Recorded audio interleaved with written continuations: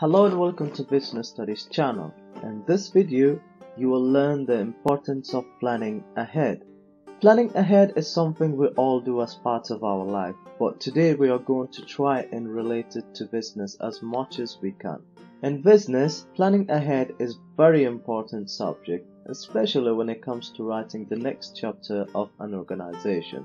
If planning is done right, it can benefit the company dramatically. It is the process which identifies how, when, and where we are going to deal with the future of our business.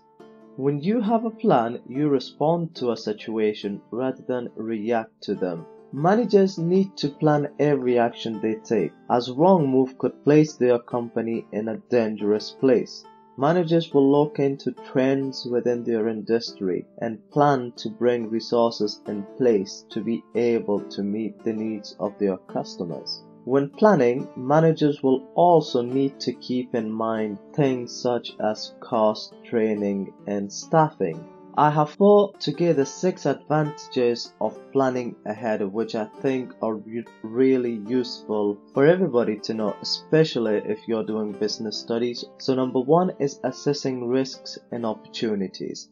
Taking risk is necessary for the growth of any company. So it's very important that sometimes we do take risk. Expanding the comfort zone also helps the company dramatically in achieving success. By planning ahead, you can identify a wide range of opportunities available for our business. Number two, becoming proactive. Planning ahead helps you become proactive. Without proper planning, we would not be ready to respond to a challenge so that's why it's important to plan ahead and see what challenges you might face in the future. Number three, improving performance. Planning ahead will give you the opportunity to prepare yourself and when you are prepared you can hit any performance possible and if they are realistic. This helps your performance. You will be clear about what to do next. You will experience less stress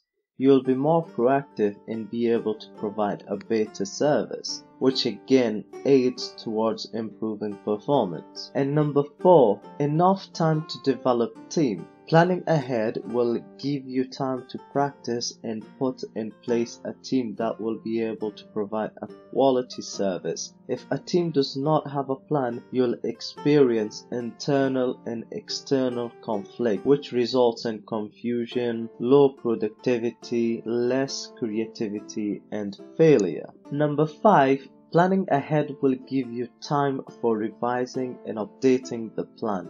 Effective plan will need to be updated regularly on information such as risks identified, quality, resources, stakeholders, and so on. Number six is reward.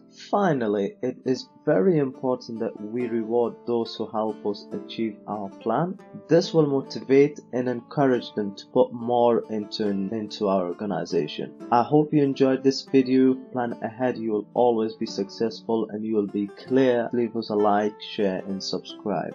Also, if you like to go an extra mile, you can uh, buy my book by clicking in the link in the description below.